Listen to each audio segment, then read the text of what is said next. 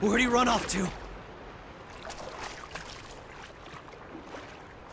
These ashes are the boys. Something's coming.